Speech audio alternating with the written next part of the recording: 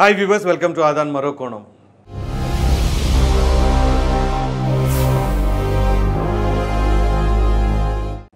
Kadapa MP Avinash Reddy గారు ఈరోజు CBI ఎంక్వైరీకి వచ్చిన సంగతి ప్రతి ఒక్కరికి తెలిసిందే. ఇది రెండవసారి జరిగింది. అయితే సిబిఐ ఎంక్వైరీ దాదాపు మూడున్నర గంటల పాటు సాగిన తర్వాత ఎంపీ అవినాష్ రెడ్డి గారు బయటకు వచ్చారు. బయటకు వచ్చిన తర్వాత ఆయన ప్రెస్ మీట్ పెట్టి మరీ మాట్లాడారు. ఆయన మాట్లాడకొచ్చింది ఏంటో తెలుసా? ముఖ్యంగా ఈ యొక్క గూగుల్ టేక్అవుట్ ఈ గూగుల్ టేక్అవుట్ అనే దాని ద్వారా ఈ విధంగా చేసుకొచ్చారు. అది గూగుల్ టేక్అవుట్ కాదు. తెలుగుదేశం పార్టీ ఇన్ఫ్లుయెన్స్తో చేసుకొచ్చింది అని చెప్పుకొచ్చారు. అసలు తెలుగుదేశం పార్టీ ఇన్ఫ్లుయెన్స్ చేయడానికి ఈ కేసుకి తెలుగుదేశం పార్టీకి ఏం అధికారం ఉంది? కేంద్రంలో ఉన్న ప్రభుత్వంతో ఏమైనా పొత్తులో ఉన్నారా? పోనీ రాష్ట్రంలో ఏమైనా అధికారం ఉందా? అలా ఉన్నా సరే సిబిఐ లాంటి దర్యాప్తు సంస్థలను ఇన్ఫ్లుయెన్స్ చేయగల కెపాసిటీ ఉంటుందా? మరి ఈ విధంగా లేకుండానే తెలుగుదేశం పార్టీ ఇన్ఫ్లుయెన్స్ చేసింది అని చెప్పేసి ఎంపీ అవినాష్ రెడ్డి గారు చెప్పుకొచ్చారు. సరే ఆ విషయం అలా ఉంచితే ఆయన చెప్పుకొచ్చింది ఏంటి అంటే వైఎస్ వివేకానంద రెడ్డి గారు చనిపోయినప్పుడు మార్చురీ దగ్గర ఉన్న అవినాష్ రెడ్డి గారు ఆ తర్వాత ఫస్ట్ ప్రెస్ మీట్ పెట్టి మాట్లాడింది అతనేనంట. అప్పుడేం మాట్లాడారో మొట్టమొదటిసారిగా సిబిఐ ఎంక్వైరీ చేసినప్పుడు అదే మాట్లాడాను. ఈరోజు అదే మాట్లాడాను. ఇంకెప్పుడైనా పిలిచినా అదే మాట్లాడతాను అని చెప్పేసి అంటున్నారు. అయితే ఈ కేసుకి నాకు ఎటువంటి సంబంధం లేదు అన్నట్లుగానే ఆయన చెప్పుకొచ్చిన మాటల్లో మనం అర్థం చేసుకోవాల్సి ఉంది. ఇంకా చెప్పవలసి వస్తే ఒక విలేకరు అడిగిన ప్రశ్నకు ఆయన ఏం సమాధానం ఇచ్చారు అంటే ఆ విలేకరు ఏమని అడిగాడంటే మిమ్మల్నే టార్గెట్ చేసి మరి మీ మీదే ఎందుకు ఆరోపణలు వస్తున్నాయని చెప్పేసి అడిగారు. ఆయన ఏమన్నాడు? నిజాలను టార్గెట్ చేసేలాగా ఎంక్వైరీ సాగట్లేదు. పర్సన్ని టార్గెట్ చేసినట్లుగానే మాట్లాడుతూ ఉన్నారు. ముఖ్యంగా మీడియాలో ఏ విధంగా ప్రసారాలు అవుతున్నాయంటే కార్యక్రమాలన్నీ కూడా నా వైపే నేనే నిందితుడిని అనే విధంగా డిబేట్లు ప్రోగ్రాంలన్నీ చేస్తూ ఉన్నారు. ముఖ్యంగా నేను విజయమ్మ గారి దగ్గరికి వెళ్ళినప్పుడు ఆవిడని బెదిరించడం కోసమే వెళ్ళాను అని చెప్పేసి అంటున్నారు. సో అక్కడ నేను విజయం గారిని బెదిరించింది లేదు ఏం లేదు అన్నట్లుగా అని అయితే ఆయన మాటలను బట్టి మనం అర్థం చేసుకోవాల్సి ఉంది. వీటన్నిటినీ ప్రక్కన పెడితే అసలు అవినాష్ రెడ్డి గారికి వివేకానంద రెడ్డి గారి హత్యకు ఎటువంటి సంబంధం లేదని అనుకుందాం పోనీ. సరే మరి విజయసాయి రెడ్డి గారు ఎందుకని ఆ విధంగా ప్రెస్ మీట్ పెట్టి మైకుల ముందు ఇది గుండెపోటు అని చెప్పారు? మరి దానికి సమాధానం రావాలి కదా? మరి దానికి ఎటువంటి సమాధానాలు లేవు. పోనీ సిబిఐ అధికారుల్ని ఏదైతే కడపలో ఉండగా ఎంక్వైరీ జరుగుతూ ఉన్నదో ఆ టైంలో మరి అదే కడప జిల్లాలో పులివెందుల నియోజకవర్గంలో మరి ఎవరు బెదిరిస్తారు సిబిఐ అధికారుల్ని? అలా బెదిరిస్తే వీళ్ళు ఏం చేస్తున్నారు? అధికారంలో ఉన్నారు కదా. మరి ఖచ్చితంగా వీళ్ళు ఆ అధికారాన్ని ఉపయోగించి ఎవడైతే బెదిరిస్తున్నారో వాళ్ళని ఖచ్చితంగా లోపలేపేయాలిగా మరి దానిపైన ఎందుకని యాక్షన్ తీసుకోలేదు? చివరికి సునీతారెడ్డి గారే సుప్రీంకోర్టు ద్వారా ఆ కేసుని పక్క రాష్ట్రానికి బదిలీ చేయండి అని అని చెప్పేసి పిటిషన్ వేస్తే ఆ విధంగా జరిగితే ఇప్పుడు ఈ కేసుకు సంబంధించిన విచారణ అనేది వేగం పుంజుకుంది. మరి ఇదే వేగం మరి ఆంధ్రప్రదేశ్ రాష్ట్రంలో ఎంక్వైరీ జరుగుతూ ఉండగా ఎందుకు జరగలేదు? పైగా అక్కడ జైల్లో ఉండగా వాళ్ళకి సకల సౌకర్యాలు కల్పిస్తూ ఉన్నారంట. ఎవరైతే రిమాండ్లో ఉన్నారో ఆ ఖైదీలకి. మరి వీటికి సమాధానాలు ఏం చెప్తారు? ఇవన్నీ ప్రక్కన పెడితే సునీతారెడ్డి గారు మరి స్వయాన తన అన్న అయినటువంటి సీఎం జగన్మోహన్ రెడ్డి గారిని కలిసినప్పుడు జగన్మోహన్ రెడ్డి గారు స్పందించిన విధానం గురించి కూడా ఆవిడే బహిర్గతంగా చెప్పారు. అదేంటి? అవినాష్ రెడ్డి గారితో ఎందుకమ్మా? అతను అది ఏముంది? ఓ ప- తొమ్మిది కేసులు పది కేసులు ఉన్నాయి. మహా అయితే ఇంకో కేసు అవుద్ది. అవసరం అయితే బీజేపీలోకి కూడా వెళ్తాడు అని చెప్పేసి జగన్మోహన్ రెడ్డి గారు అన్నట్లుగా స్వయాన సునీతారెడ్డి గారే చెప్పుకొచ్చారు. మరి వీటికి సమాధానం ఏం చెప్తారు? ఇలా ఒకటి కాదు రెండు కాదు. ఏ రకంగా చూసినా కానీ మరి ఇన్ని నిందలు లేదా ఇన్ని అపవాదులు వస్తున్నప్పుడు మరి ఆ నిందల్ని తొలగించుకోవాల్సిన బాధ్యత వీళ్ళపైనే ఉంది. అయితే ఇక్కడ తెలుగుదేశం పార్టీని మరి ఆ విధంగా ఇన్ఫ్లుయెన్స్ చేసింది అని చెప్పేసి అంటున్నారు. అది ఎవరైనా నమ్మడానికి అవకాశం ఉందా? ఆస్కారం ఉందా? అనే అనుమానాలు తలెత్తుతూ ఉన్నాయి. ఎందుకంటే తెలుగుదేశం పార్టీ ప్రతిపక్షంలో ఉంది. పైగా కేంద్ర ప్రభుత్వంలో ఉన్న బీజేపీతో కూడా సఖ్యత లేదు. ఎంత పాజిటివ్గా ఉందామన్నా సరే వాళ్ళు చంద్రబాబు నాయుడు గారు అంటే ఎంతో కొంత కోపంతోనే ఉన్నారు అని చెప్పేసి పదే పదే వైఎస్ఆర్ పార్టీ నాయకులే చెప్తున్నారు. ఎందుకంటే రెండు వేల పంతొమ్మిది అసెంబ్లీ ఎన్నికలకు ముందు చంద్రబాబు నాయుడు గారు మరి నరేంద్ర మోదీ గారిని టార్గెట్ చేసి మాట్లాడారు అన్నమాట వాస్తవమే. ఈ నేపథ్యంలో రాష్ట్రంలో ఉన్న బీజేపీ కావచ్చు కేంద్రంలో ఉన్న బీజేపీ కావచ్చు చంద్రబాబు నాయుడు గారి పైన గుర్రుగా ఉన్నారు. మరి ఇటువంటి క్రమంలో సిబిఐ దర్యాప్తు సంస్థని ఏ విధంగా చేయడానికి అవకాశం ఉంటుంది ఇన్ఫ్లుయెన్స్ అనేది?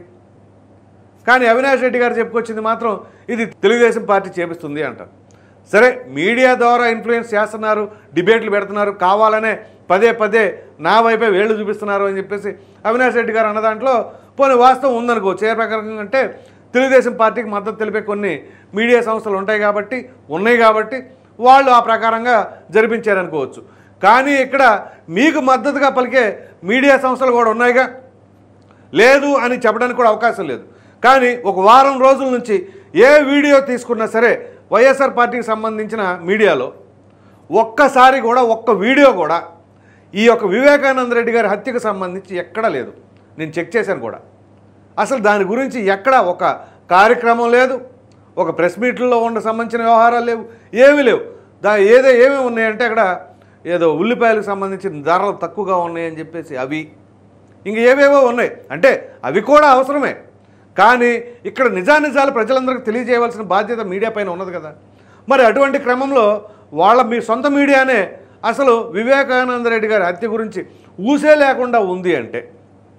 మరి దీన్ని బట్టి ఏమర్థం చేసుకోవాలి? ఒక్క ఆ మీడియా తప్పించి మిగతా ఏ మీడియాలో చూసినా కానీ వైఎస్ వివేక గారి కేసుకు సంబంధించి ప్రతిసారి కథనాలు వస్తూనే ఉంటున్నాయి. కానీ మరి వీళ్ళు ఎందుకు కవర్ చేయట్లేదు? మరి దానికేం సమాధానం చెప్తారు? మీడియా వాళ్ళు బాధ్యతగా ఉండవలసిందే. మీడియా వాళ్ళే కావాలని ఈ విధంగా చేస్తున్నారు అన్నప్పుడు మరి ఇప్పుడు మీకు సంబంధించిన మీడియా కూడా కావాలనే మరి ఈ న్యూస్ని పక్కదో పట్టిస్తున్నట్లుగా అనుకోవచ్చు కదా? అదేమంటే మీ మంత్రులు నాయకులు ఎవరైనా ప్రెస్ మీట్లు పెడితే వాటి గురించి పెడతారు పెట్టండి. ప్రతి ఒక్కటి అవసరమే. కానీ ప్రతి న్యూస్ కూడా కవర్ చేయవలసిన బాధ్యత ఉంటుంది కదా? మరి ఆ ప్రకారం ఎందుకు చేయట్లేదు? ఇక్కడ ఎవరైతే ఈ మర్డర్కి సంబంధించిన డిబేట్లు పెట్టారో లేకపోతే చర్చలు సాగించారో వాటిని మాత్రం తప్పుపట్టినట్లుగా నిజాలు బయటికి రావాలి అని చెప్పేసి మరలా ఎంపీ అవినాష్ రెడ్డి గారు చెప్తున్నారు. సో ఏది ఏమైనా మరలా ఎంపీ అవినాష్ రెడ్డి గారిని ఎప్పుడు పిలుస్తారు అంటే ఇంకా వాళ్ళేమి సిబిఐ అధికారులు ఏం చెప్పలేదంటే మరలా అవసరమైతే పిలుస్తామని. మరి ఫర్దర్గా పిలుస్తారు లేదు అనేది కూడా తనైతే క్లారిటీ ఇవ్వకుండా ఉన్నారు. సో ఓవరాల్గా ఇక్కడ చెప్పుకోవాల్సింది ఏంటి అంటే ఇప్పుడు అవినాష్ రెడ్డి గారు అయితే వచ్చారు భాస్కర్ రెడ్డి గారు వచ్చేసి తనకి ఆరోగ్యం బాగోలేదు అని చెప్పేసి అన్నారు. మరి ఆయన ఎప్పుడు పిలిపిస్తారు ఏంటి అనేది? ఇక్కడ మరొక కీలకమైన అంశం ఏంటి అంటే మనోహర్ రెడ్డి గారి పేరు కూడా బయటకు వచ్చింది. ఆయనకు కూడా త్వరలోనే నోటీసులు ఇచ్చి ఎంక్వైరీకి పిలుస్తారు అని చెప్పేసి అంటున్నారు. అయితే ఇక్కడ అవినాష్ రెడ్డి గారు చెప్పుకొచ్చిన అంశం మరొకటి ఉంది ఆ లెటర్కి సంబంధించింది. ఏదైతే వివేకానంద రెడ్డి గారిని బెదిరించి అదిరించి ఎట్టకేలకు ఆయన చేత బలవంతాన ఒక లెటర్ రాపిచ్చారో ఆ లెటర్ గురించి కూడా ప్రస్తావించి ఆ లెటర్ కూడా ఎవరో రాయించి పెట్టారు ఆయన వ్యాఖ్యలు చేయడం జరిగింది. సో ఇవన్నీ కనుక చూస్తూ ఉంటే ఇక్కడతోనే కాదు ఇంకా మున్ముందు కూడా చాలామందికి నోటీసులు వచ్చి ఈ ఎంక్వైరీ కొనసాగుతూనే ఉంటుంది. మరి అది ఎంత దూరం వెళ్తుంది? ఎన్ని రోజులు పడుతుంది? ఎన్ని సంవత్సరాలు పడుతుంది అనేది మాత్రం ఎవరికి అంతు చిక్కని ప్రశ్నగా మిగిలిపోతుంది. చూద్దాం మరి ఎంపీ అవినాష్ రెడ్డి గారు ఈరోజు మరి తనకు అసలు ఆ కేసుకి ఎటువంటి సంబంధం లేదు అని చెప్పేసి తను వ్యాఖ్యలు చేయటం అది కూడా ఎంతో అమాయకంగా అసలు. వివేకానంద రెడ్డి సార్ గారు అదేంటిది మార్చరీ జరుగుతున్నప్పటి నుంచి కూడా అదే పోస్ట్ మార్టం జరుగుతున్నప్పుడు మార్చరీ దగ్గర నుంచి నేను ప్రెస్ మీట్ పెట్టినప్పటి నుంచి అప్పటి నుంచి ఇప్పటి వరకు కూడా అదే మాట్లాడుతున్నాను అన్నారు. అది నిజమా అబద్ధమా అనేది మాత్రం చెప్పలేదనుకోండి సరే ఆయన చెప్పింది ఆయన వర్షం ప్రకారం నిజమనే అంటారు. కాకపోతే ఇక్కడ తెలుగుదేశం పార్టీని ఎందుకు కోట్ చేశారో? తెలుగుదేశం పార్టీ అప్పుడేం చెప్పిందో సిబిఐ ఇప్పుడు అది చెప్పిందంట. అంటే నాలుగు సంవత్సరాల క్రితం తెలుగుదేశం పార్టీ ఏదైతే చెప్పిందో ఇప్పుడు సిబిఐ అదే చెప్పిందంట అసలు. ఈ రెండింటికి లింక్ ఎక్కడి నుంచి వచ్చిందో ఎలా కుదిరిందో మరి అర్థం కావట్లా. సరే చూద్దాం ఎవరి మాటలు వాస్తవాలు ఏంటి అనేది ఆ నిజానిజాలు అనేవి సిబిఐ ఎంక్వైరీలు ఉంది కాబట్టి వాళ్ళే తెలుస్తారు విచారణలో. ఈ విషయం కూడా ఎంపీ అవినాష్ రెడ్డి గారు చెప్పారు. ఒక కేసుకు సంబంధించి ఎంక్వైరీ జరుగుతూ ఉన్నప్పుడు అనేక రకాలుగా ప్రోపగండాలు చేయడం ఎంతవరకు కరెక్ట్ అన్న కరెక్టే అది. కాకపోతే సిబిఐ ఏదైతే కౌంటర్ అఫిడవిట్ దాఖలు చేసిందో వాళ్ళు మెన్షన్ చేసిందే కదా ఇక్కడ మీడియా అన్నీ చెప్పుకొచ్చింది డిస్కషన్లు పెట్టింది డిబేట్లు పెట్టింది ఇవన్నీ కూడా వాళ్ళు ఆ అఫిడవిట్ దాఖలు చేసిన తర్వాతే జరిగినాయి. దానికి ముందు చేస్తే అది తప్పు. అది కూడా ఆ కౌంటర్ అఫిడవిట్ అనేది ఈ సిబిఐ ఎందుకు దాఖలు చేసింది? ఆ సునీల్ యాదవ్ అన్న ఆయన ఉన్న చోట ఉండకుండా బెయిల్ కావాలని పిటిషన్ పెట్టాడు. అందుకు కదా ఇప్పుడు ఎలా ఉంది? కదిలించి కొట్టించుకోవడం అంటే ఇదే అన్నట్లుగా చాలామంది అభిప్రాయపడుతూ ఉన్నారు. నార్మల్గా ఆయన శిక్ష అనుభవిస్తూ ఉంటే ఎవరు పట్టించుకునే వాళ్ళు కాదేమో బహుశా. అంటే సిబిఐ వాళ్ళు కోర్టుకి ఈ యొక్క అఫిడవిట్ సబ్మిట్ చేయాల్సిన అవసరం ఉండేది కాదు. ఆయన ఎప్పుడైతే బెయిల్కి అప్లై చేశారో అసలు నువ్వు ఏ రకంగా బెయిల్కి అప్లై చేస్తావు ఇక్కడ చేసిందంతా ఎవరు ఏంటి అని చెప్పి చెట్టా మొత్తం సబ్మిట్ చేశారు అక్కడ కోర్టుకి. సో సిబిఐ సబ్మిట్ చేసిన దానిపైనే మీడియా ఎవరైనా సరే కథనాలు వేశారు డిబేట్లు పెట్టారు డిస్కషన్లు చేశారు. మరి అవి కూడా తప్పు అంటే సిబిఐని తప్పు పెట్టినట్లుగానే భావించవలసి ఉంటుంది. సో ఇక్కడ సిబిఐ ఏదైతే అఫిడవిట్ దాఖలు చేసిందో అది కరెక్ట్ కాదు అన్నట్లుగా ఆయన మాటలను బట్టి మనం అర్థం చేసుకోవాల్సిన అవసరం ఉంది. మరి చూద్దాం ఈయన మాటల వాస్తవమా? సిబిఐ ఏదైతే అఫిడవిట్ దాఖలు చేసిందో వాటిల్లో వాస్తవాలు ఉన్నాయా? మరికొందరికి కూడా నోటీసులు ఇవ్వవలసి ఉంది. మరి ఈ క్రమంలో వాళ్ళకి నోటీసులు ఇచ్చిన తర్వాత ఎంక్వైరీ చేసిన తర్వాత అసలు వాస్తవాలు బయటకు రాబోతున్నాయా? ఇంకా చెప్పుకోవాల్సి వస్తే మరి ఎవరైతే అప్రూవల్గా మారిన దస్తగిరి మరి ఆయన అప్రూవల్గా మారానని చెప్పేసి నిజాలు చెప్పకుండా అబద్ధాలు చెప్పారు అని చెప్పేసి మరి అవినాష్ రెడ్డి గారి మాటల్లో మనం అర్థం చేసుకోవాల్సి ఉందా? చూద్దాం ఎవరు వాస్తవాలు చెప్పారు ఎవరు అబద్ధాలు చెప్పారు ఏంటి అనేది కూడా త్వరలో తేలుతుందని చెప్పేసి మనం ఆశిద్దాం. ఈ వీడియో కనుక మీకు నచ్చినట్లయితే లైక్ చేయండి షేర్ చేయండి. అదేవిధంగా ఎంపీ అవినాష్ రెడ్డి గారు రెండోసారి సిబిఐ ఎంక్వైరీకి వెళ్ళి బయటకు వచ్చి ఆయన చేసిన వ్యాఖ్యలపైన మీ విలువైన అభిప్రాయాన్ని కామెంట్ రూపంలో తెలియచేయండి. మరిన్ని వీడియోస్ కోసం మన ఆదాన్ ఛానల్ని సబ్స్క్రైబ్ చేయడం మాత్రం మర్చిపోకండి. Thank you